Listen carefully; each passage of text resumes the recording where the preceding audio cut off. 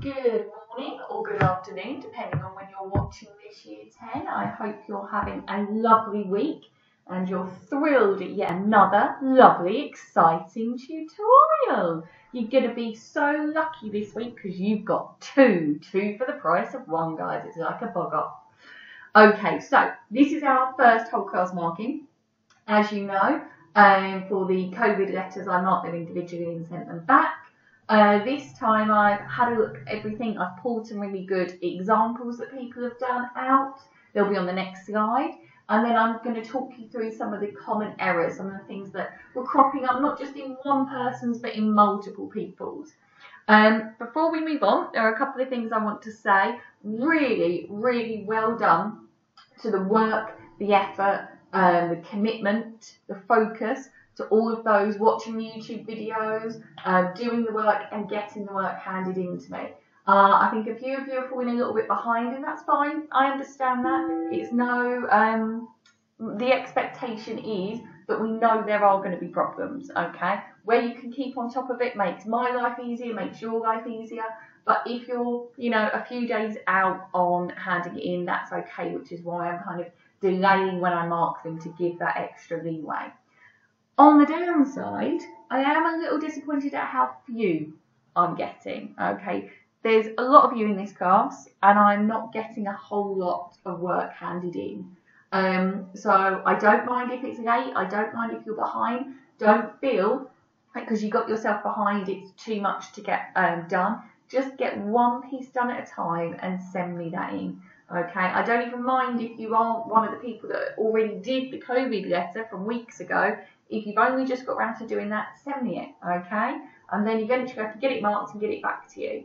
Um, don't just think because you've fallen behind you're not going to do anything because it really is important that you keep practicing these skills because obviously this time next year, you know, all life being pretty much back to normal, fingers crossed, you will be in that exam room. Um, so please, please do keep working through the tutorials and do get the work sent in to me. Okay, you can upload on our Teams group or you can email it to me. Okay. Uh, now to the lovely slide of all the different things people did well. So what went well? First off, Natasha. Using, uh, Natasha is using accurate terminology, brilliant, in each paragraph, which is key. Some people used one or two terms, but they only used it one paragraph, or they used it in two, but not all three. Make sure you're using that continuously because that's one of the differences. Is there um, some? Is there an attempt? Is it consistent? Is it concise?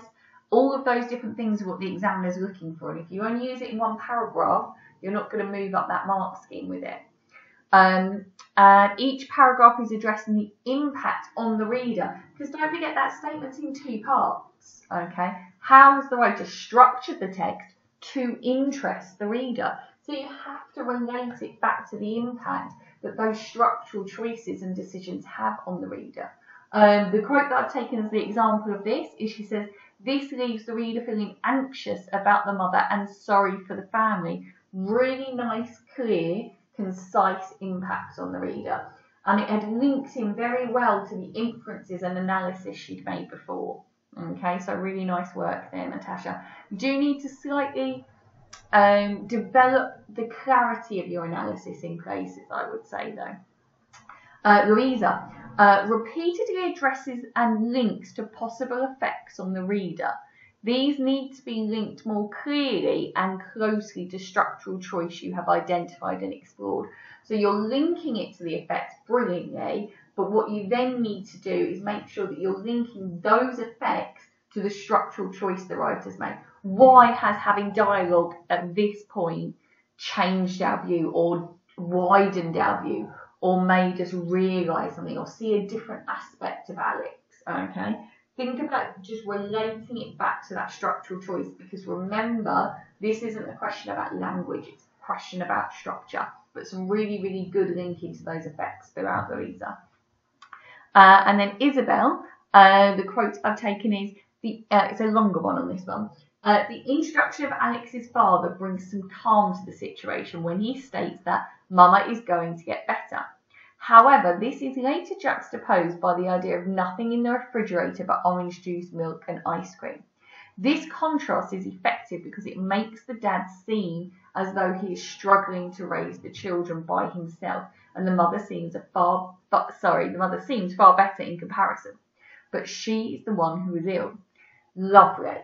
So this is a really clear and insightful piece of analysis. Well done. This could be developed still though by exploring the structural choice to have this in the middle of the text or to have presented one through dialogue and the other piece of information through narration. Why choose these two methods? What impact does this have? Develop your effects on the reader so that your analysis is deeper and more sophisticated. So it's a really, really lovely piece of analysis, well thought through, nice, clear and concise, insightful. But if we could just link and develop um, our um, clarity in linking that effect to those structural choices that would have gone up on the mark scheme, okay? Uh, and then Harvey, I really like this end point that he made um, because the list is so long, it shows that he doesn't just miss her a little bit, he misses her a lot, okay? So it's a really nice, clear inference linked to sentence structure. Sentence structure is an element of structure that you can explore during this. Um, so really nice spot there, and I think that was a really lovely inference, Harvey. But then what you need to do to develop that is explore why that point's been there structurally at that place within the extract, i.e., why have that list right at the end? How does that build on everything we've had before? Would that have been more or less effective if he'd if the writer had opened with that list? Okay, so take one element of the structure that you've analysed and develop it, build on it, because that's how you're going to work up the marks thing. But really, really nice work, guys. Now, on to your EBIs. So, um, as you can see, some are in black, some are in red. Uh, the ones in red are the ones that uh, were the most common. Okay, so these were the most reoccurring uh, errors. Um, and some of them I'm going to talk through in detail, some I'll just read out to you. So explore the tone and atmosphere at the beginning. Why is this significant? I think that's quite self-explanatory. I don't think you need much information from me for that, okay? The tone at the beginning is obviously quite dark and ominous. We have the nightmare, we have the weather.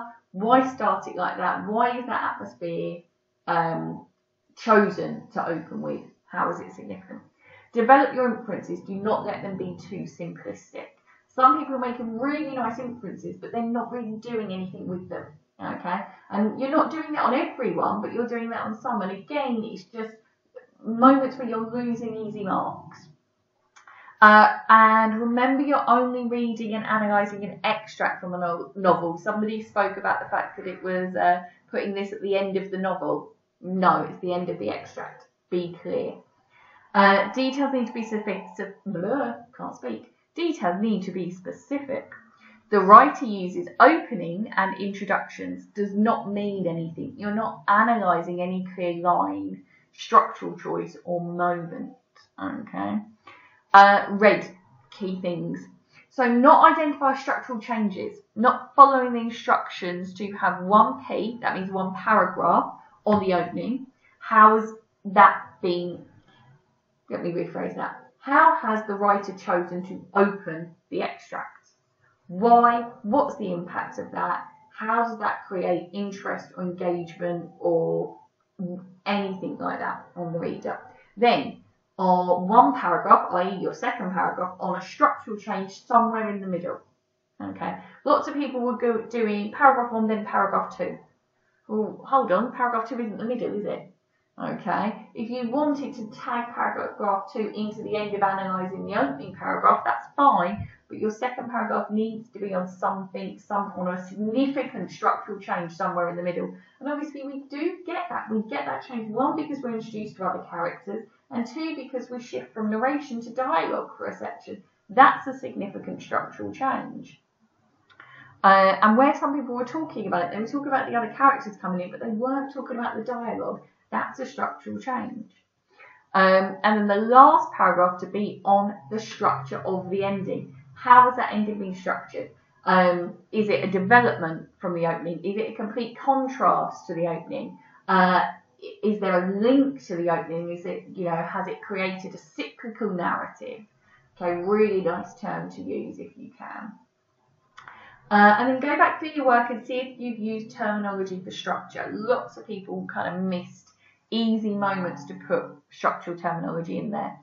Uh, you are really addressing and identifying the structural choices, or are you just saying beginning, shift, and end? Oh, and structural choice was used quite a lot without anyone telling me what the structural choice was. Are you connecting your inferences to the structural choices? Why does the writer introduce this idea, aspect, tone at this point? How does this develop our understanding of the character? And that links pretty much to um, everybody I was talking about on the What You Did Well side about what it is you need to do in order to develop and get extra points on what you're already doing really well. Uh, because inferences, I'm so impressed, they were really up there. And it isn't the simplest of text, it isn't the most complicated, but it isn't the simplest. So I was really impressed by that. Uh, you must quote from the source. Some students have not used any quotes in one or all of their paragraphs. You have to evidence the points you're making. Uh, make sure you are linking your inferences to both the structural choice and the impact, i.e. effect on the reader. Because don't forget there's two aspects to that statement you're answering. What uh, structural choices has the writer made? Or sorry, how has the writer structured the text to interest the reader? Uh, never use the phrase makes them read on or makes the reader read on. You know full well you're banned. I tell you this enough. Um, try to make sure points and analysis are on key structure aspects, not language choices. If you're going to explore sentence structure, use this in combination with this key structural choice. Exactly like I was saying about what Harvey did. He made a really lovely comment on that sentence structure um, point, but then you need to link that back to the structural choice of why has that been positioned at this point. Okay, but very, very good work, those of you doing it and hand it in. I'm really, really impressed. Your focus is there, your dedication is there. The effort is very clear to see uh, in the quality of the work. So well done, everybody that handed something in from our class on that one. Um, I will be filming our tutorial for this week on paper one, question four. It's going to be on the same source, guys. Okay, so if you've already printed it, you don't need to reprint a new one for this week. Okay, so it's still going to be on the old Alex um, and it's going to be question four. Okay, I'm going to, so I'm going to say goodbye for now and have a lovely rest of your morning.